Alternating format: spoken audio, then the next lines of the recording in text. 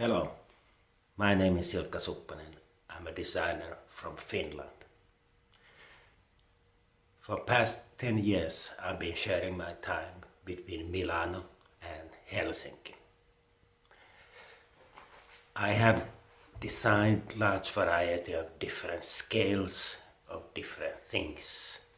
I have designed jewelry to the watches, to the tabletop objects, lighting, furniture, interiors of different kind, exhibitions, and uh, small scale architecture for vacational homes in Finland.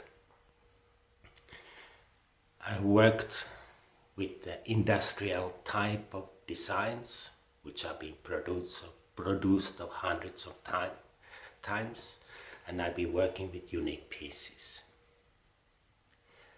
I'm a Scandinavian designer and that means that I try to combine the beauty with the function to do something where I use minimum amount of material to achieve maximum amount. This is done through efficiency. At the same time, I've been strongly influenced by Italian culture, design, architecture and arts. In Italy, I have found a very special relationship to the beauty.